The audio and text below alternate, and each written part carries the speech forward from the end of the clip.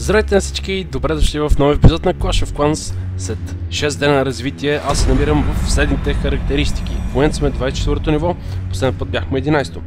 И за Town Hall левел 4 съм с златни мини максимално ниво 8 левел, с екстрактори 8 левел съответно, с защита от Archer кули, които са 4 левел също и още тем подобни мортари и кенани Както виждате, в момента воювам главно с две единици, а именно с джайанти, а.к.а. великани и гоблини. Това е моята стратегия, която използвам, защото целта ми е всъщност аз да се държа между 500 и 600 купи в момента, защото искам да стоя ниско, където да не могат да ме струшават някакви гиганти.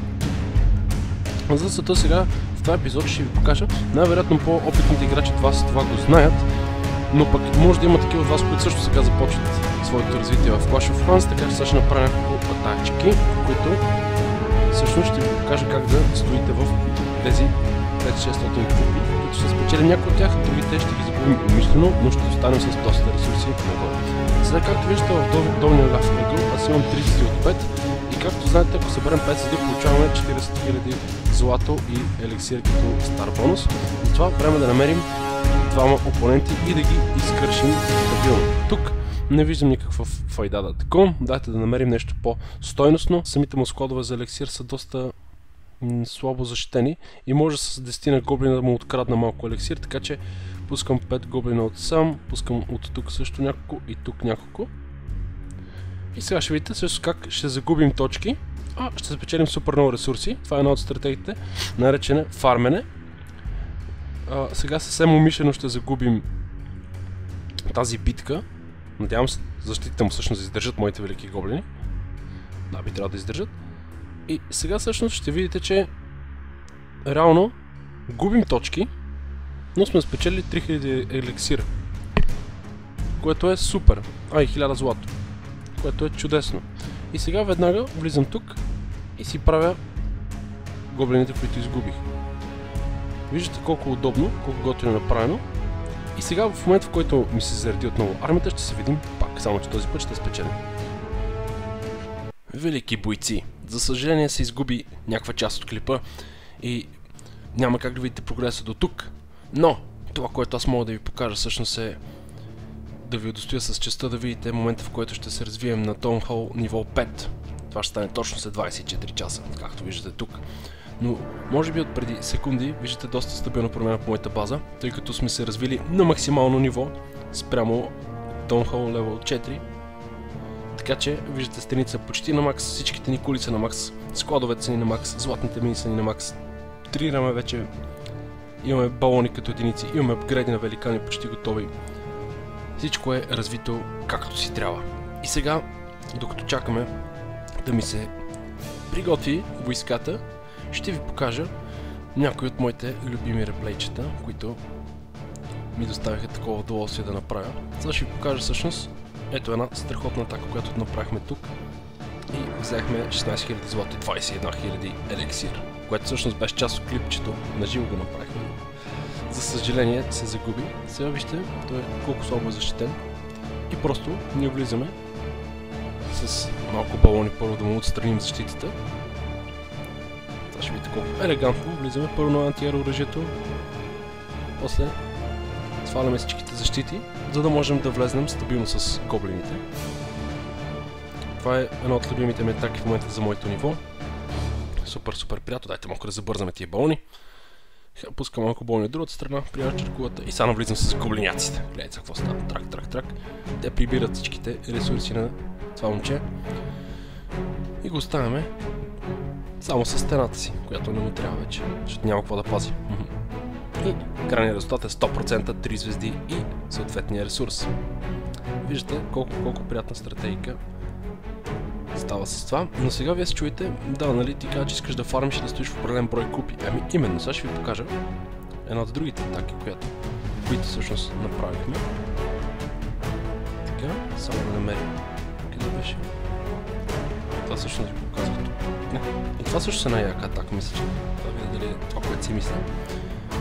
Вижте, това момче също има... Всъщност има доста слаби защити. Отново навлизаме пак с болните от една страна, сваляме макулите. Всъщност по-добра стратегия ще да ако си пусна едните болни тук, другите от там. И по този начин ще мога да, да, да му изфарим цялата база, но както виждате резултата пак е същия. Няма да гледаме тази атака. Сега ще покажа всъщност, когато почнете да ставате повече купи, отколкото смятате, че е безопасно за вас, то веднага трябва да направите няколко от следните атаки. Това е, е, това е оптималното. Вижте, 30 000 злато, 18 500 елексир вземем от тук с големи, кара с великани и гоблини. Вижте, супер добра укрепена база. Той е с, Stone, с uh, Level 5, но ние навлизаме с големите башуци. Гледайте как къртат стената, моите батки. И в момента, в който падне стената, ние навлизаме с Мистер Гоблиняк. Вижте колко са готини, ние сме апгрейднете си гоблините, изключително полезни са според мен, особено в това, то, то момент на играта, в който съм аз, защото виждате как докато кулите са заед с великаните, моите гоблини отзад припомпват целият му ресурс и му взехме много голяма част от ресурса. Както виждате. И на всичкото отгоре загубихме купи, загубихме 3 трофея, спечелихме 30 000 злата и 18 000 еликсира. Дали не е супер оферта?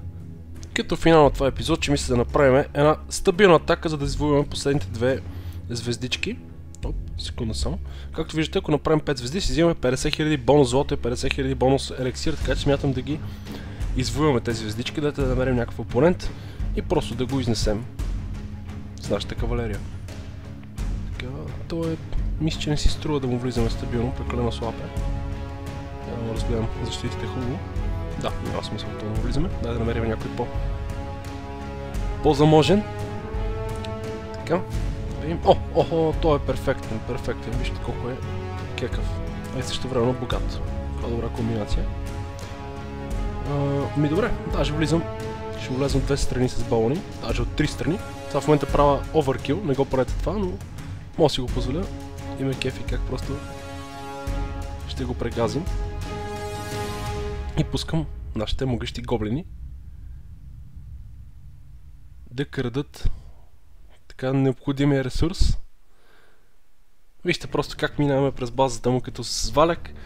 Много красиво, много приятно. Прегазване се случва в момента. Гледайте сега. Той няма абсолютно никакви защити горкия.